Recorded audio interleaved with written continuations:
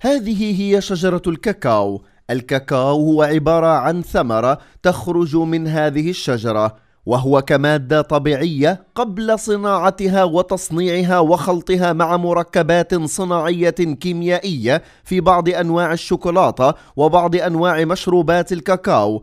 تعتبر مادة مفيدة غنية بمضادات الأكسدة والأصباغ النباتية الطبيعية. وقد أثبتت العديد من الدراسات العلمية دور مضادات الأكسدة في ثمرة الكاكاو كتأثير مضاد لتلف الخلايا والشيخوخة وكذلك كتأثير مضاد لتصلب الشرايين. ولكن هناك أسرار تغذوية يجب أن ندركها حالا من أجل الحصول على هذه القيم الغذائية. للأسف الشديد هذه الفوائد تقل مع الشوكولاتة السمراء المحروقة بسبب تخرب كثير من هذه المواد الفعالة أثناء التحضير والحرق. ويتميز الكاكاو في المقام الأول بغناه بمادة الثيوبرومين وهي مادة منبهة ولكنها أقل تأثيرا من الثيوفيلين الموجود في الشاي. ويعتقد أن الكاكاو يساهم في التقليل من الإصابة بتلف الخلايا حسب دراسات علمية موثوقة. ولذلك نحن ننصح للحصول على فوائد الكاكاو بأن يتم استهلاكه بشكل طبيعي وغير مخلوط في مواد مصنعة أو مع الحليب الذي يقلل من فوائده. وانتبهوا إلى بعض المنتجات التي يدخل فيها الكاكاو ولكن الإضافات تحوله إلى سبب من أسباب الأمراض.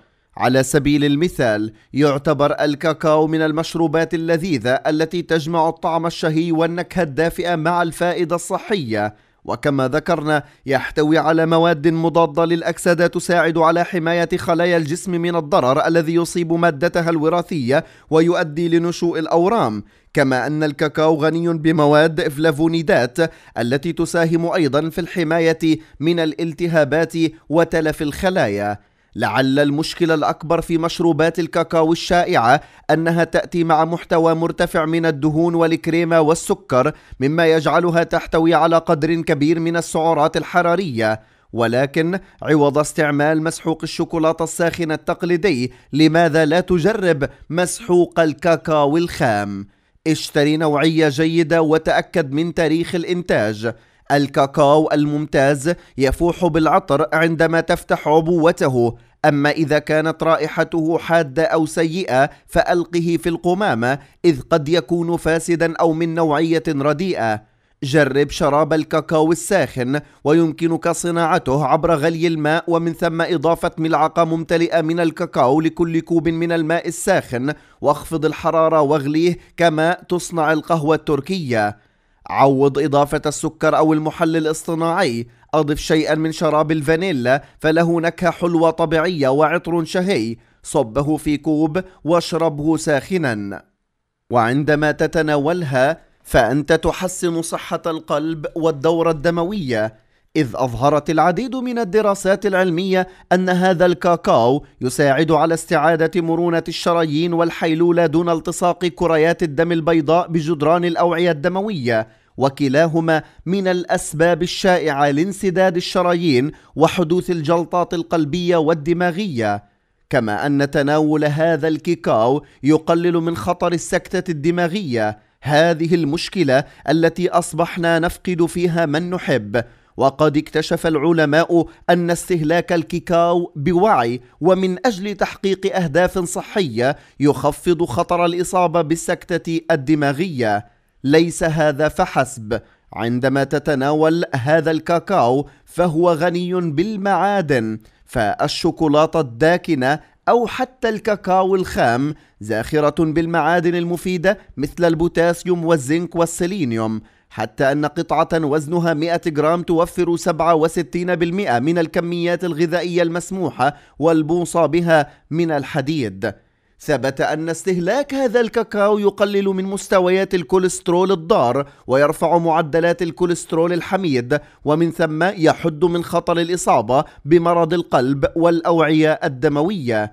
ليس هذا فحسب. مركبات الفلافونيدات الموجودة في الكاكاو يحمي البشرة من أشعة الشمس الضارة كما أن تناول الكاكاو يساعد على إنقاص الوزن.